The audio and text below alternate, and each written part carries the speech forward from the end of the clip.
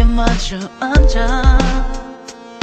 사소한 얘기로 안부를 묻고